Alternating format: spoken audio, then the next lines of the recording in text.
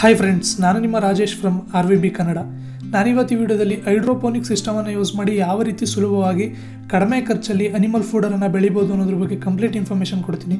Hydroponic ಸಿಸ್ಟಮನ್ನು use ಮಾಡಿ ಯಾವ ರೀತಿ ಹುಲ್ಲನ್ನು ಬೆಳಿಬೋದು ಅನ್ನೋ ಸ್ಟೆಪ್ ಬೈ ಸ್ಟೆಪ್ ಪ್ರೋಸೆಸ್ ಈ ವಿಡಿಯೋದಲ್ಲಿ ಇದೆ. ಹಸು ಮತ್ತು ಕುರಿಗಳನ್ನು ಸಾಕಿರೋ ಎಲ್ಲ ರೈತರುಗಳಿಗೆ ಈ ವಿಡಿಯೋ ತುಂಬ ಯೂಸ್ಫುಲ್ ಆಗುತ್ತೆ.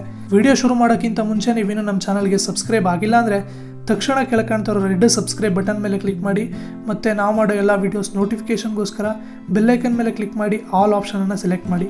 ನೀವೇನಾದರೂ ಈ ವಿಡಿಯೋನ ಫೇಸ್ಬುಕ್ಕಲ್ಲಿ ನೋಡ್ತಾ ಇದ್ದರೆ ನಮ್ಮ ಪೇಜನ್ನು ಲೈಕ್ ಮಾಡಿ.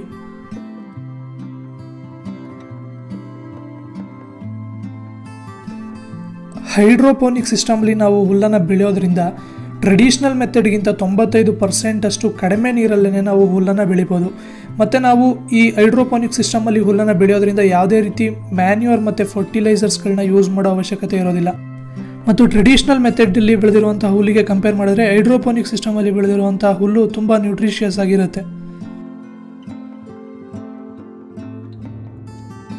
ನಾನು ಈ ವಿಡಿಯೋದಲ್ಲಿ ಹೈಡ್ರೋಪೋನಿಕ್ ಸಿಸ್ಟಮಲ್ಲಿ ಬೆಳೆಯೋದಕ್ಕೆ ಮುಸ್ಕಿನ್ ಜೋಳ ಕಾರ್ನನ್ನು ಸೆಲೆಕ್ಟ್ ಮಾಡಿದ್ದೀನಿ. ನಾವು ಒಂದು ಕೆ ಜಿ ಕಾರ್ನನ್ನು ಯೂಸ್ ಮಾಡಿ ಹನ್ನೆರಡು ಕೆ ಜಿಗಳಷ್ಟು ಅನಿಮಲ್ ಫುಡರನ್ನು ಬೆಳಿಬೋದಾಗಿರುತ್ತೆ.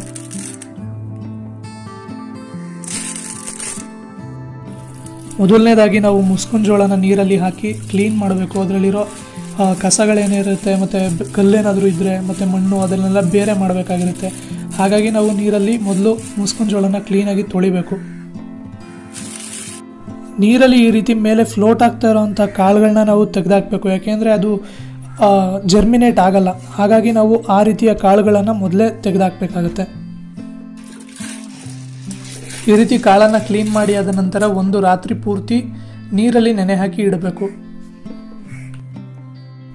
ಒಂದು ರಾತ್ರಿ ಪೂರ್ತಿ ನೀರಲ್ಲಿ ನೆನೆಸಿ ಆದ ನಂತರ ಆ ಕಾಳುಗಳನ್ನು ನಾವು ಹೈಡ್ರೋಪೋನಿಕ್ ಪ್ಲೇಟ್ಸ್ಗಳಿಗೆ ಹಾಕಬೇಕು. ಹೈಡ್ರೋಪೋನಿಕ್ ಪ್ಲೇಟ್ಸ್ಗಳು ನಮ್ಗೆ ಆನ್ಲೈನಲ್ಲಿ ಸಿಗುತ್ತೆ. ನಾವು ಆನ್ಲೈನಲ್ಲಿ ಪರ್ಚೇಸ್ ಮಾಡ್ಬೋದು.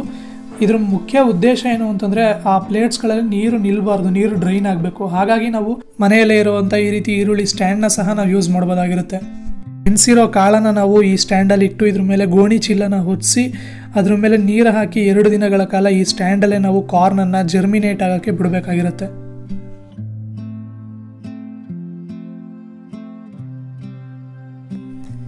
ಇದು ನಾಲ್ಕನೇ ದಿನ ನೀವು ಇಲ್ಲಿ ನೋಡ್ತಾ ಇದ್ದೀರಾ ಕಾಳುಗಳು ಯಾವ ರೀತಿ ಮೊಳಕೆ ಬಂದಿದೆ ಅಂತ. ಈ ಸ್ಟೇಜಲ್ಲಿ ಇದಕ್ಕೆ ತುಂಬ ನೀರು ಬೇಕಾಗಲ್ಲ, ಅದ್ರ ಮೇಲೆ ಒಡ್ಸಿರೋವಂಥ ಗೋಣಿ ಚೀಲ ಒದ್ದೆ ಆಗಿರೋ ರೀತಿ ಇದ್ರೆ ಸಾಕು.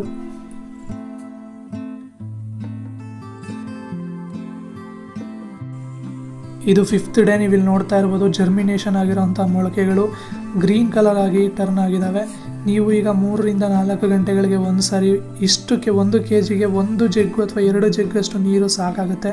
ಮೂರರಿಂದ ನಾಲ್ಕು ಗಂಟೆಗಳಿಗೆ ಒಂದು ಸಾರಿ ನೀರನ್ನು ಹಾಕ್ತಾ ಹೋಗಬೇಕಾಗತ್ತೆ.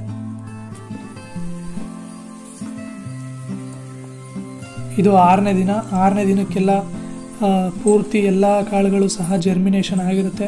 ಯಾವ್ಯಾವ ಕಾಳುಗಳು ಒಂದೊಂದು, ಅದು ಒಂದ್ರ ಮೇಲೆ ಒಂದು ಇದ್ದು ಅಥವಾ ಕ್ವಾಲಿಟಿ ಚೆನ್ನಾಗಿಲ್ದೇ ಇರೋ ಕಾಳುಗಳು ಮಾತ್ರ ಜರ್ಮಿನೇಷನ್ ಆಗಿರಲ್ಲ. ಮೆಜಾರಿಟಿ ನೀವು ಇಲ್ಲಿ ನೋಡ್ತಾ ಇರ್ಬೋದು ಎಲ್ಲ ಕಾಳುಗಳು ಸಹ ಜರ್ಮಿನೇಷನ್ ಆಗಿದ್ದಾವೆ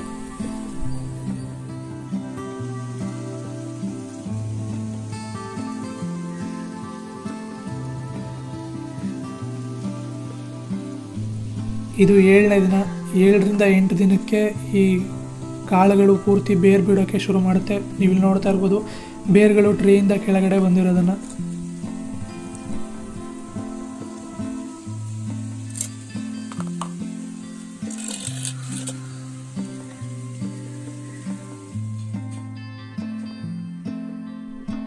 ಇದು ಎಂಟನೇ ದಿನ, ಈಗ ಎಲ್ಲ ಕಾಳುಗಳು ಸಹ ಬೆಳೆದಾಗಿದೆ.